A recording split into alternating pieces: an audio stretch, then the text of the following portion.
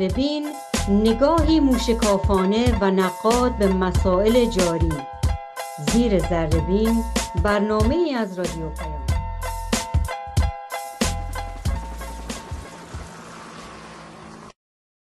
با سلام به شما شنوندگان و بینندگان این برنامه. برنامه دیگری از زیر زربین رو با موضوع اصفهان شهر کرد جنبش های اجتماعی و وظایف ما همراه با علیرضا نوایی فعال کارگری دنبال می‌کنیم. آقای نوایی سلام دارم و ممنون از اینکه این فرصت رو دادید که با هم باشیم. منم سلام می‌کنم به شما امیر عزیز و تمامی شنوندگان و بینندگان محترم رادیو پیام کانادا. به نوبه خودم هم از شما سپاسگزارم که این فرصت رو در اختیار خواهش می‌کنم. آقای نوایی همونطور که مطلع هستید چند روزی است که در اصفهان ما شاهد تظاهرات گسترده ای هستیم که منجر به درگیری و کچه شدن تعدادی شد و در خبرها هم اومده که بیش از دویست نفر دستگیر شدن. همزمان ما شهر کرد هم شاهد همچین موضوعی بودیم. اگر امکان داره برای بینندگان و شنوندگان این برنامه قدی توضیح بدید که اصولا چه اتفاقی افتاده. موضوع چی بوده؟ تا بعد برگردیم ببینیم رابطه این جنبش های اجتماعی به چه شکله و عمدتا بتونیم تمرکز کنیم روی وظایفی که ما داریم و می‌تونیم داشته باشیم در شرایط کنونی. بفرمایید.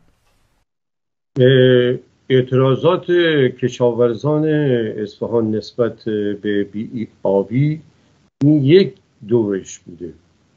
ما پیش از این چندین چند ساله که ما شاهد حق طلبی کشاورزان اصفهان برای تأمین حقابه برای کشاورزی هستیم و این اعتراضات به نارضایتی و خشم کشاورزان اصفهان به اشکال گوناگون تا کنون روز داده شده و این سرکوبی هم که شده اولین بار نیست که این کشاورزان مورد یورش نیروهای سرکوبگر به فرمان جمهوری اسلامی یا دولت‌های مختلف جمهوری اسلامی هستند. اعتراضات به آبی هم که اگه در دو بخش بگیریم برای تأمین آب کشاورزی و تأمین آب نوشیدنی در اصفهان ختم نمیشه. پیش از اصفهان ما در خوزستان شاهد اعتراضات گسترده ای بودیم که و دیدیم هم اونجا هم تعدادی از حق طلبان بازداشت جان باختن و مصدوم شدن.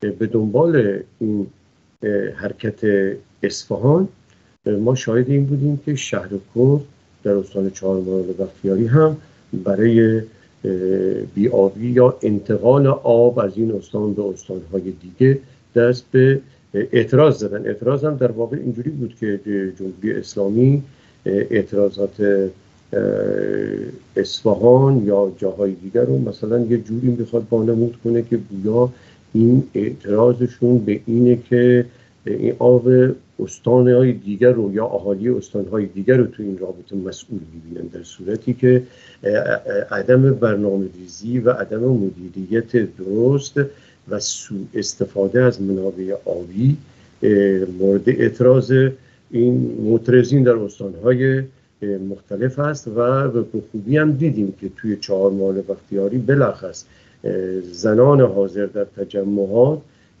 سر این نکته انگشت گذاشتن و در واقع نشون دادن که آگاه هستند به این توطعه و نقشه شوم جمهوری اسلامی برای تفرقه اندازی بین اهالی استان. این بار نکته ای که در اصفهان به چشم می‌خورد این اعتراضات کشاورزان از 17 آبان شروع شد و از 18 آبان بر بستر خشک زایندرود کشیده شد. اینجا یه شعار خوبی می‌دادن که خیلی اهمیت داشت. می‌گفتن همشهری گرامی حمایت حمایت. وقتی می‌بینیم که اینا یه التماتیمی میدن به دولت که اگه تأمین نکنه حقابشونو روز جمعه نه جمعه گذشته جمعه ماقب بر بستر زایندرود تجمع می‌کنه. و این تجمع صورت می‌گیره. تجمع صورت می‌گیره که خیلی از اهالی اصفهان هم درش شرکت داشتن و خود رسانه ها و حتی صدا و سیما هم با یک هدف خاصی اومد این تجمع رو پوشش داد و نشون داد که یک تجمع چند هزار نفره برگزار شده. اصل قضیه این بوده که این خواست کشاورزان اولا یعنی اینکه کشاورزان با درایت این شعار مطرح کردن و این شعارشون با حمایت نیروهای اجتماعی به بالاخص زنان و مردان جوان قرار گرفت. وقتی که جمهوری اسلامی حالا شگردهای خاصی داره. و یک نقشه های معمولا در رابطه با اعتراضات پیش می‌گیره. اینا رو دید که همشون نقشه بر آب شده و نمی‌تونه این اعتراضات به تجمعات و کانالیزه بکنه. خب اومد دست به طبق معمول سرکوب. اومدن که چهارشنبه شب چهارشنبه صبح اومدن یورش آوردن به چادراشون و به حساب این که در استانداری یا غیره توافقاتی شده باید این چیز بشه چادرها جمع بشه و در واقع به اسم عوامل اجرایی شهرداری با حمایت نیروهای امنیتی و استانداری حمله کردن. یه سری کشاورزان مخالفت کردن گفتن ما زمانی چادرها رو از اینجا برمیداریم که آب بیاد. که چادر برداشته بشه اینی که موفق نشد از صبح پنجشنبه دیگه نیروهای امنیتی بسیجی نیروی انتظامی یگان ویژه لباس ورزشی لباس شخصی های سابق که با لباس ورزشی اومدن یورش آوردن به کشاورزان و به نوعی این چادرها رو جمع کردن. تا اونجایی هم که تو اخبار بود تعدادی از کشاورزان تو همون پنج صبح پنجشنبه مصدوم شد. به دنبال این و خبرهایی هم هست که تعدادی بازداشت شدن به زبان خود کشاورزان اصفهان.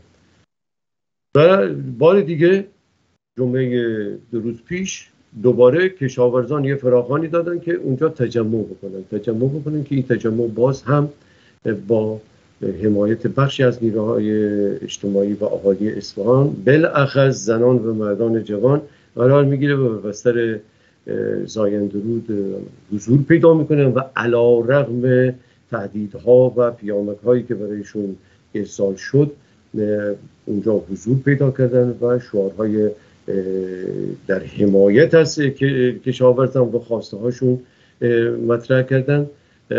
و شاید این بودیم که با گاز اشکاور توفنگ ساشمهی و غیره به اینا یورش آوردن اینا رو مورد ضرب قرار دادن و تعدادی رو بازداشت کردن. بر اساس خود رسانه ها تعدادی که مستوم شدن دو نفرشون حالشون خرابه ولی خبرهایی که تو شبکه های اجتماعی پخش شده حاکی از جانباختن دو نفر از معترضین یا حاضرین در تجمع اصفهان. گزارش مبسودی بود. ممنون از توضیح کاملتون.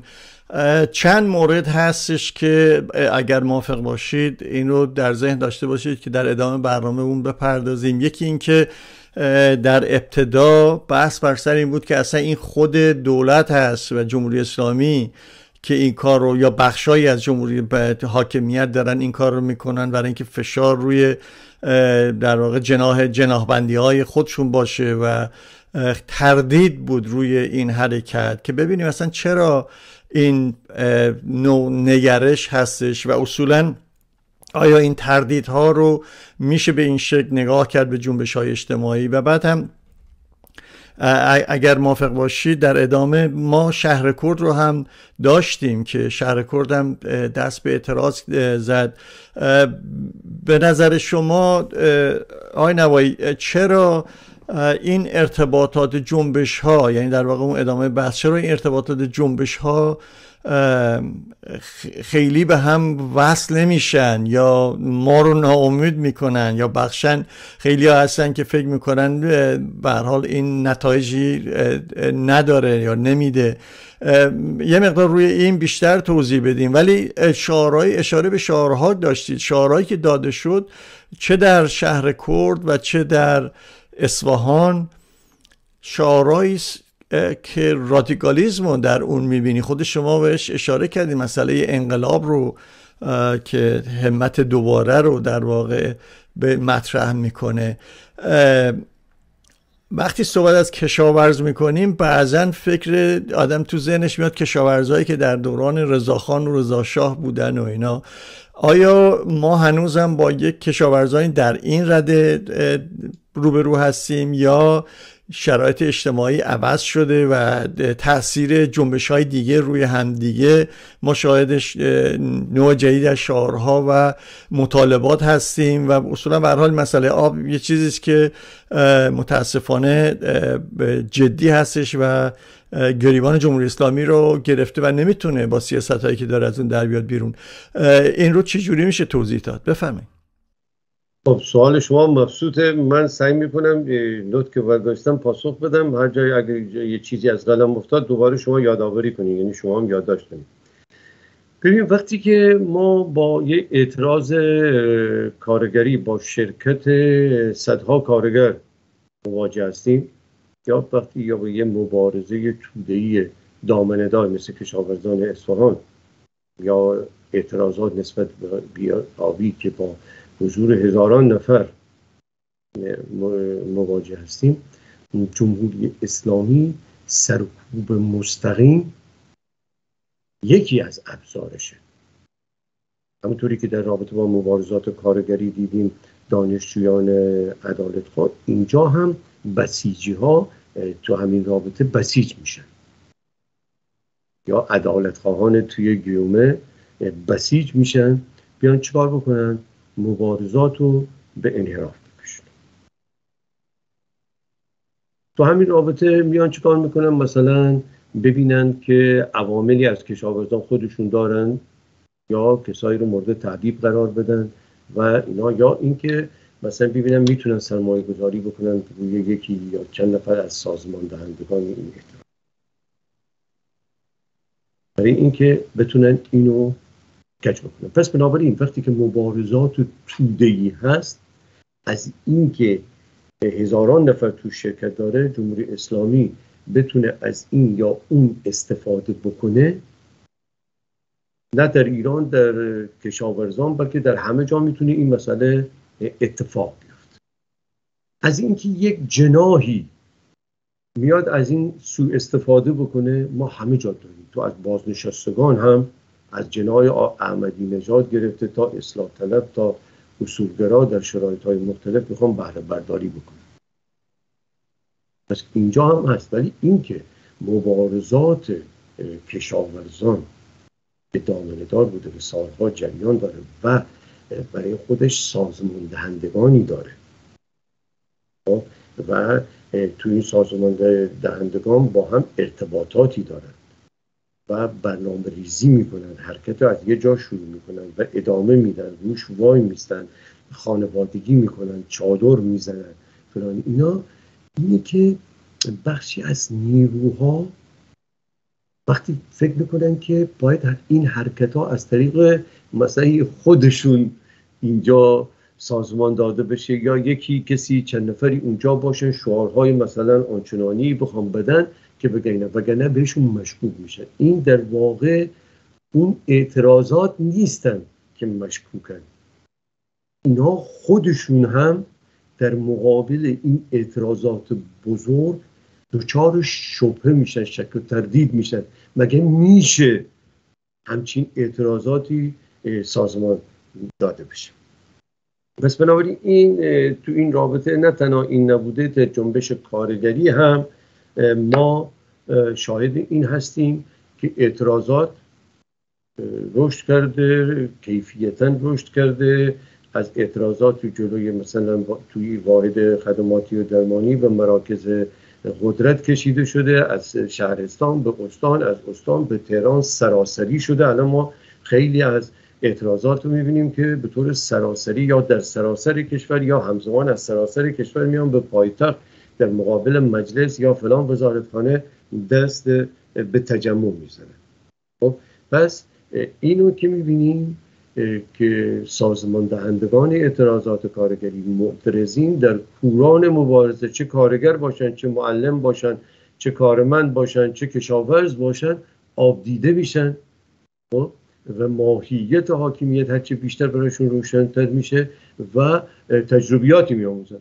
همونطوری که اعتراضات خیابانی هم اون جوانانی که تو شرکت می‌کنن کسانی که تو شرکت می‌کنن آبدیده تر میشن تاکتیکایی رو که استفاده می‌کنن پیشرفته تر و بهتر از گذشته است. ببینیم میگین که شهر کرد. من گفتم تو قسمت قبلی پیش از اصفهان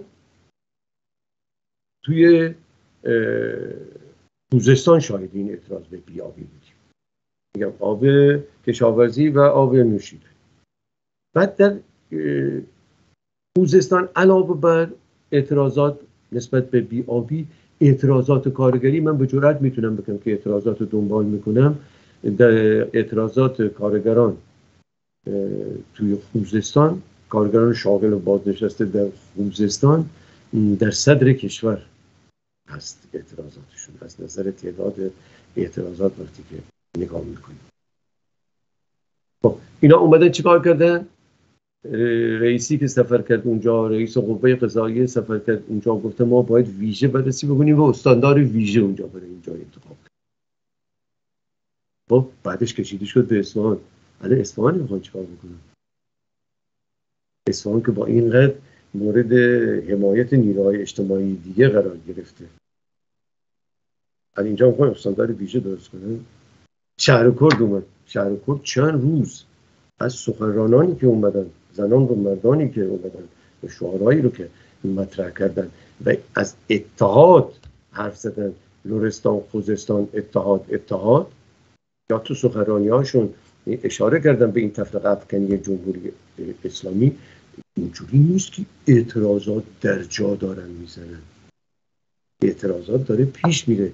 یا مثلا اگه به اعتراضات خیابانی نگاه بکنیم 96 که بوده اعتراضات بیمای 96 بعد آبان 98 از آبان 98 تا الان ما چقدر اعتراضات خیابانی داشتیم؟ همین نمونه اصفهان و اینا.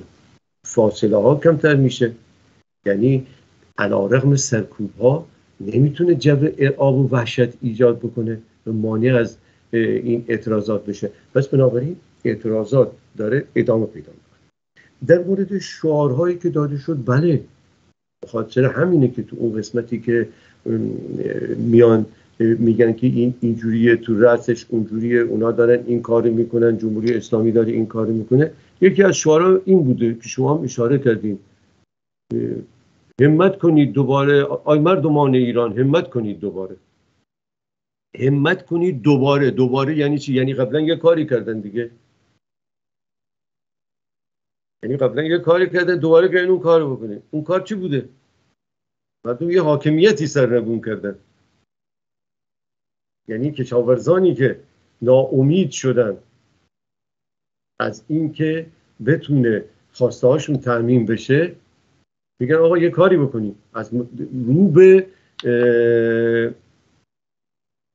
مردم میارن خطاب به مردم میگن و میگن بیان به دنبال اون شعاری که گفتن همشهری گرامی حمایت حمایت.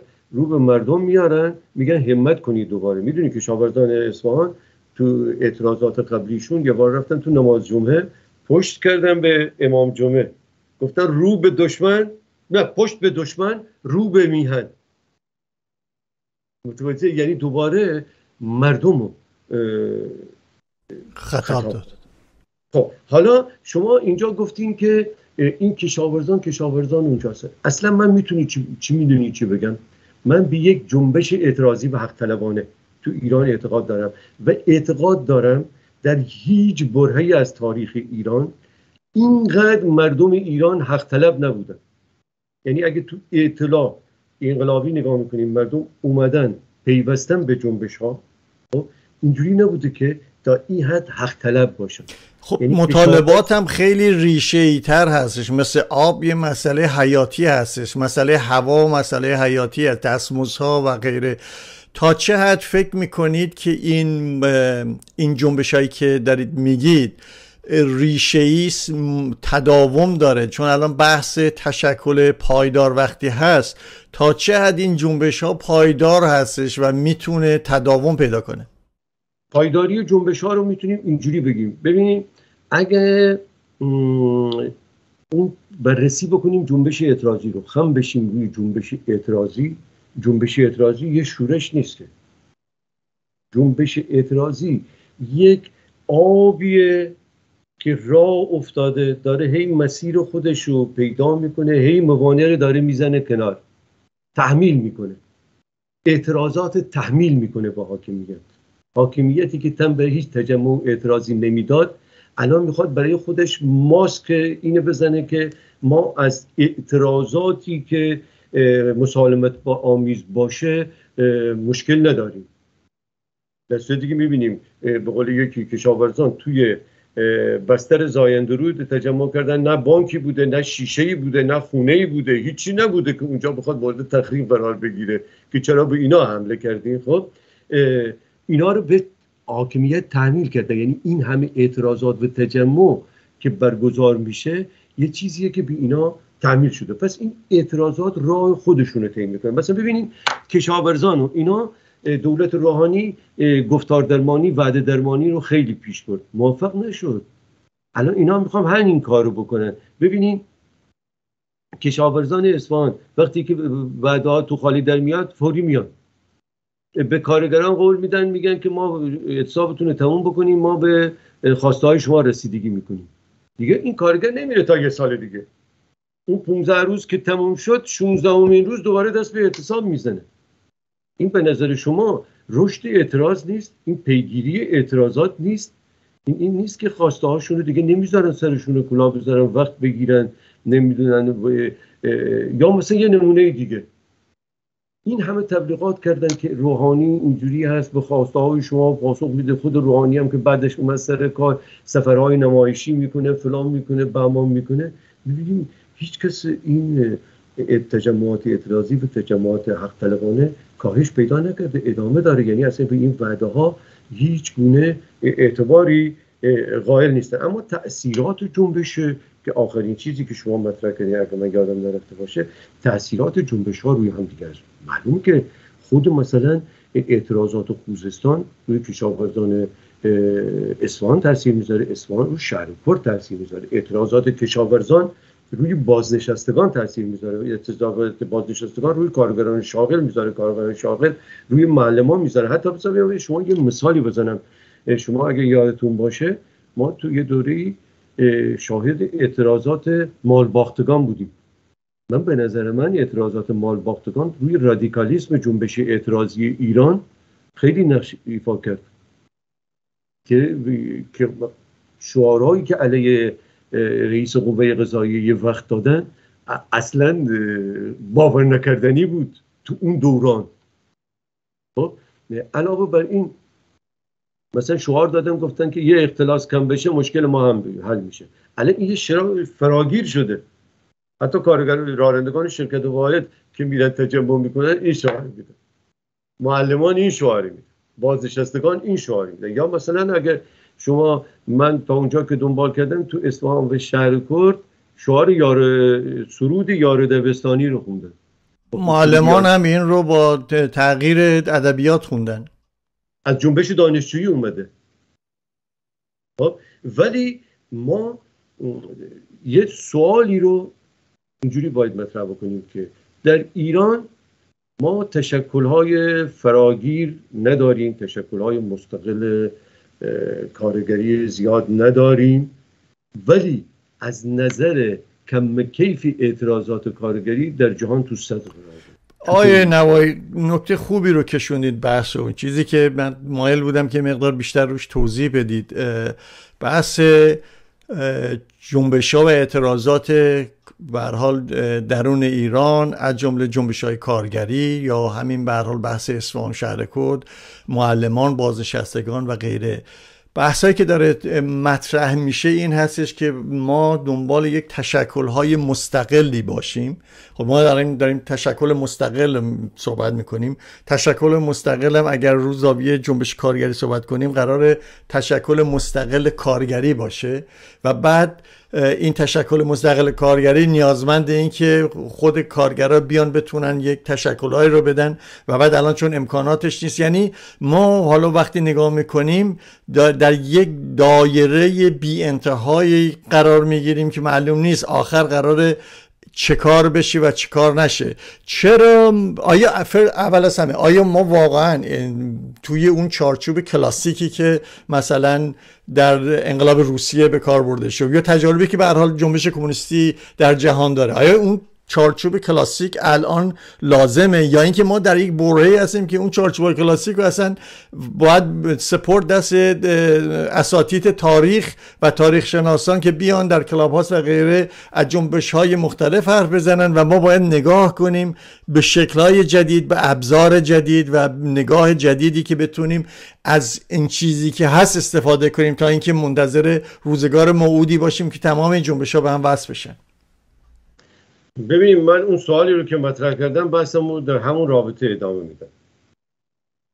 دو تا بحث باید بکنیم. کارگران و دیگر نیروهای اجتماعی در هر واحد تولیدی خدماتی و نیروهای اجتماعی دیگر در هر عرصه ای که فعالیت می‌کنن یا فعالیت اجتماعی دارن یا شاغل هستن هر جا که می‌تونن تشکل مستقل خودشون رو از دولت و کارفرما و احزاب برپا بکنن. و هر نامی رو که می‌ذارن بر اساس مستقل بودن رو حفظ بکنن برپا بکنن. این خیلی خوبه. ولی اینکه ما بگیم که باید این یک سری از فعالین کارگری حتی نهادهای کارگری ها تشکل مستقل کارگری نباشه نهاد کارگری مستقل باشه یعنی فعالین کارگری بیان تشکل ایجاد بکنن. خوبه. ولی فکر بکنیم که با اتحاد اینا اتحاد تشکل سراسری کارگران تشکیل میشه اشتباه داریم می‌کنیم. اینا هم هرچی بیشتر با هم متحد بشن خوبه. کمک می‌کنه. ما باید خم بشیم. رو جنبش اعتراضی. بیایم ببینیم این جنبش اعتراضی که از نوع خرداد سال 71 از کوی طلاب مشهد شروع شده بعد جنبش کارگری رو داشتیم تو دهه 80 و 90 و الان این اعتراضات و گسترده کارگری رو داریم اعتراضات دیگر نیروهای اجتماعی داریم. کارگران شاغل و بازنشسته معلمان کشاورزان همه اینا رو که داریم اینه که به ما چی چیزی میگه؟ میگه که این سازمان دهندگان اعتراضات کارگری این ده ها صدها فعال کارگری و اجتماعی که پا میدان گذاشتن اینا برای خودشون سازماندهی داره ارتباطاتی دارن این ارتباطات چجوری از شبکه های اجتماعی استفاده می‌کنه از روابط فیمابین استفاده می‌کنه محلی شغلی چیزی پراکندگی. ببین میگیم مثلا در جهان الان نیروهای کشورهای مختلف پخش شده. تو هر کشوری هم اینجوریه. خب اینا با هم ارتباط دارن. مثلا بعضی اینا تو تجربیات خودشون تو همین کارگران پروژه مطرح می‌کردن. تو گاز و پتروشیمی توی اعتصاب دامنه دارشون مطرح می‌کردن. اینجوری بوده. اینا با هم دیگه یه جایی کار کردن بعد اینا پخش شدن رفتن تو جاهای دیگه کار کردن چون پروژه ای دیگه ولی ارتباطاتشون از طریق شماره تلفن و غیره برجا مونده. یه روزی لینین می‌گفت که ارگان حزب ابزار سازماندهیه. خب الان می‌بینیم که ارگان ها دارن خیلی کم نقش ایفا می‌کنن ارگان به عنوان نشریه و ابزارهای دیگه جایگزین شده. الان تو این اعتراضات هم اینجوریه. یعنی ما باید اولا این اعتراضات رو به رسمیت بشناسیم و روش خم بشیم که چجوری گسترش پیدا می‌کنه. چجوری سازمان داده میشه. و بعد ببینیم که بر بستر اینا خب چه نیازهایی هست چه کمک همین فعالین کارگری همین تشکل ها و نهادهای مستقل کارگری و اجتماعی می‌تونن بهشون کمک بکنن در راستای سازمانیابی بیشتر. پس بنابراین اینجوری نیست که اونا منتظر ما میمونن خب حالا یه چیزی هم هست. این روندی که داره ادامه پیدا می‌کنه خب ما شاید فردا اگر شاید یک تحول اجتماعی در ایران باشیم ما در مدت کوتاهی شاهد سربرآوردن ده ها و صدها هزاران تشکل مستقل باشیم. ولی این دفعه دیگه مثل 57 نیست. ما سازمان دهندگان اعتراضات کارگری داریم خودشون مبارزه کردن فعالیت کردن یعنی خب، تعداد همینجا رو یک لحظه من برای شما می‌خوام یه پرانتز باز بکنم و من با تو موافقم نه اینکه مخالفتی دارم ولی موضوعی که یه مقدار شاید نگران کننده باشه اینه که اولا که الان اصلاح طلبان و به حال کسایی که یا اپوزیسیون راست تلاش دارن که از اومدن به خیابون ملت رو در برحضر بکنن. یعنی میان در مخصوصا در کلاب ها در سمینارها میگن که حضور در خیابان خیلی خوبه ولی در شهن مثلا معلم نیست یا مثلا جوابگو نیست. بهتر راز مذاکره و غیره وارد شد. ما همین تو اصفهان هم حالا سه حد بشه نمی‌دونم ولی که تا چه حد بود و به شکل ولی شعارهای مثلا در طرفداری از بخشی از اصول راست رو هم ما شنیدیم. یعنی تلاش دارن اونها هم بیان و مهر خودشون رو بزنن برای جنبش این طبیعی هم هست. هر کسی قراره بیاد مهر خودش رو بزنه. وظایف ما الان چه هستش با وجود این شرایط؟ آیا باید وایسیم؟ مثلا اگر جنبش ها دقیقا تو اون خط و چارچوبی که ما فکر می‌کنیم نیست رو نادیده بگیریم سپورت نکنیم حمایتشون نکنیم یا اینکه وظیفه داریم بریم تو عمقشون و تا اونجایی که میشه پرچم رادیکالیسم جنبش خودمون رو بزنیم که اون رهبران و اون به حال فعالین جنبش کارگری که داریم میگی به حال اینها زمانی می‌تونن بسیار موثر باشن که بتونن در این جنبش های اجتماعی نقش رهبری رو داشته باشن نه اینکه برن فقط تای صف. بفهم ببین واقعیت اینه که خیابان جای جنبش چپه جای طبقه کارگر و مدافعین حقوق کارگریه. بورژوازی هر وقتم که میاد خیابان برای ضربه زدن به جنبش حق طلبانه میاد. تو زبان شاه هم دیدیم که شاه چماقدارای خودش به خیابان آورد. الان می‌بینیم بسیجی ها میان تو خیابان. درسته؟ اصلاح طلبان هم حتی ما این خانه کارگر و اینا که وابسته به اصلاح طلبان هم هستیم اینا هم اینجوری هر وقت از حکومت رانده میشن میان انگار اینکه این همون مدتی که اینا قدرت بودن طبقه کارگر حقوقش پایمال نمی‌شد. یا الان این دردی که طبقه کارگر در شرایط کنونی می‌کشه اینا نبودن که سالهای سال تو قدرت بودن. پس بنابراین این چیز تازه ای هم نیست. فقط اینا نیستن اصولگراها هم هستن. مثلا همین دوره گذشته همین عدالت خواه و فلان اینا همین بازی بوده دیگه. همه رو وصل بکنن به روحانی بگن ما حمایت بکنیم از کارگران احمدی نژاد هم بوده تشکل وابسته کارگری وابسته با احمدی نژاد هم بوده. حتی یه جایی اومدن با بعضی از این نیروهای گرایش راست جنبش کارگری اعتلاف تشکیل دادن علیه تر استاد شاگردی. پس این همیشه بوده. اما اما این نمیشه بگی که چون این میاد. وقتی من گفتم وقتی که مبارزه تودهی میشه که تو نمی‌تونی بگی که اصلاح طلب نیا تجمع فراخان دادی بیا. اینجا که نمی‌تونی ورودی بذاری بگی که کارت نشون بدین تفتیش عقاید بکنی. خب، میاد. درسته؟ اینجا اینجوری نیست که اگه این بیام من غر می‌کنم میرم.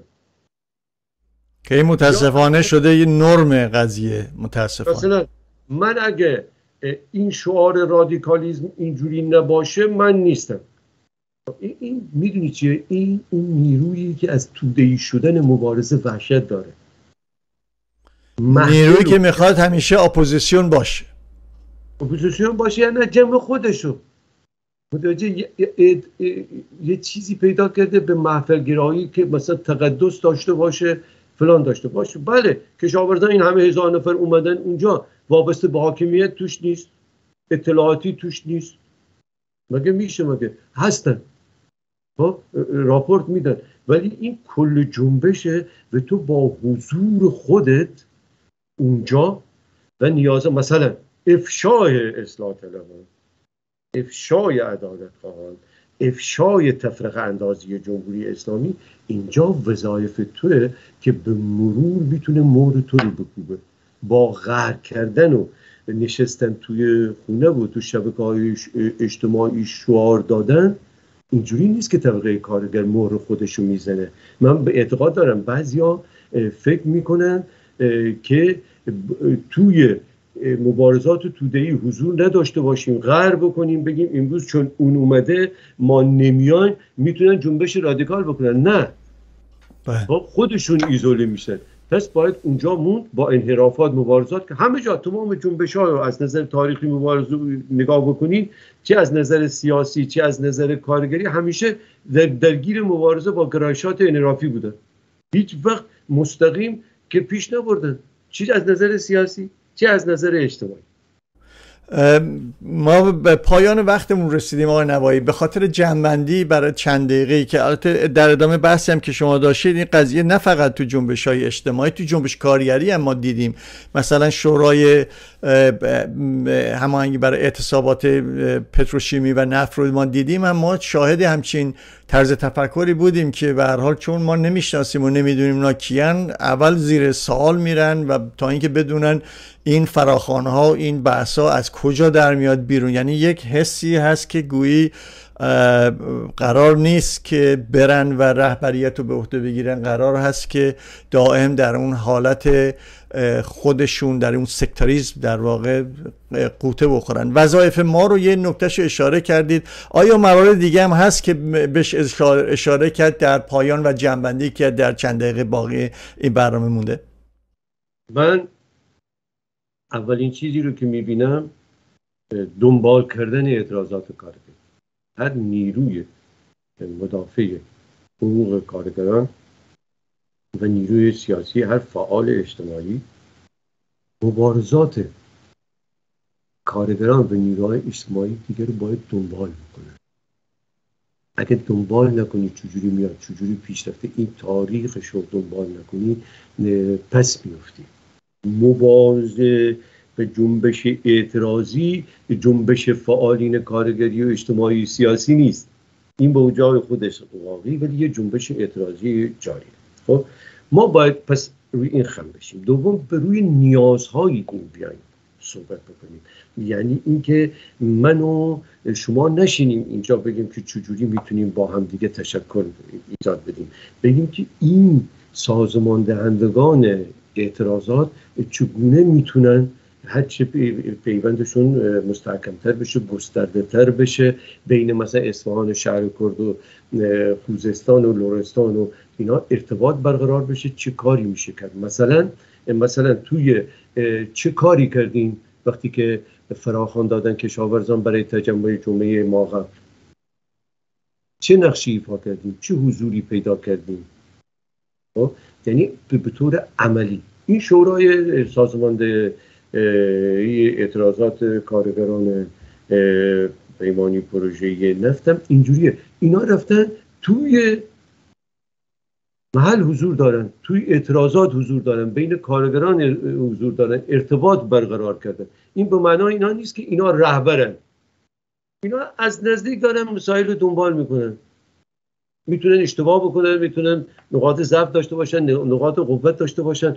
بس اینجا می‌تونن تو جریان مسائل از نزدیک قرار دارن می‌تونن ببینن نیازها چیه به چه چیزهایی باید پاسخ داد. اینا در اونجا. خب نیازها رو پیدا کردن مهمه. در این حال با شما نقشه استراتژیک هم داشته باشی که قرار این نیازها رو چجوری می‌تونی کانالیزه کنی در چه مسیری هدایت بکنی که بتونی ازش استفاده ببری. اینجا هم یه دونه چیزی هم اشاره بکنم که فقط به نیروهای داخل بر نمیگرده برخی از ما توی خارج از کشور خودمون فعال کارگری فعال اجتماعی فعال سیاسی می‌دونیم ما هم باید بچینیم در مورد وظایف ما. فکر بکنیم به نظر من وظایف ما در حد این که از با های کارگری که ارتباط داریم یه بیانیه بگیریم فلانی اینا دیگه کافی نیست. توجه باید ببینیم که چه وظایفی داریم در مقابل این جنبش اجتماعی و وظایف خودمون رو تدقیق و تدوین بکنیم. اینجا من نمی‌تونم بگم به همه اینا من پاسخ دارم.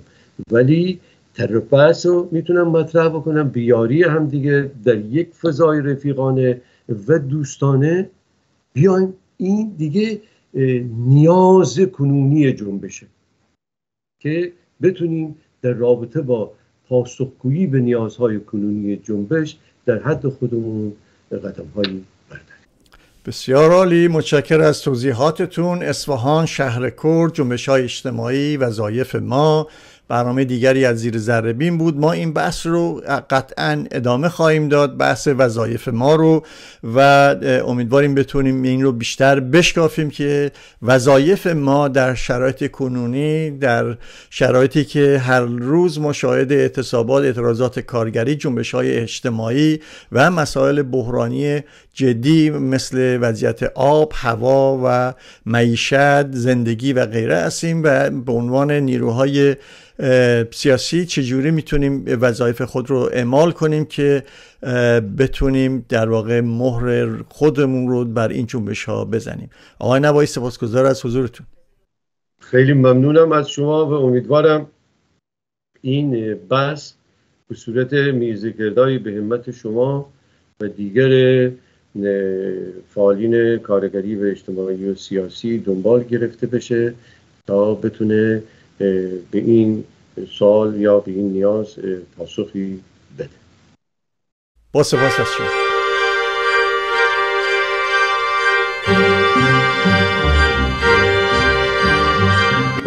رادیو پیام تنها رادیو فارسی زبان در شرق کانادا است که از ساعت دو نیم بعد از ظهر به وقت هلیفکس ده شب تهران روزهای شنبه به مدت دو ساعت روی طول موج FM 88 ممیز یک به روی آنتن می رود. برای اطلاعات بیشتر و همچنین برنامه های گذشته به وبسایت ما www.radiopayam.ca مراجعه کنید.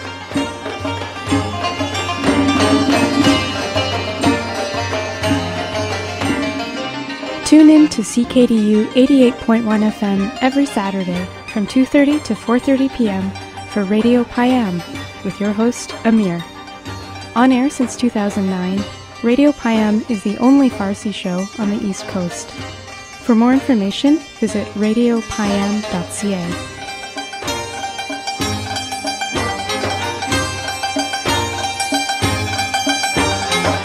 گر بر فلکم دست بودی چون یزدان برداشتمی من این فلک را میان. از نو فلکی دگر چنان ساختمی کازاده به کام دل رسیدی آسان.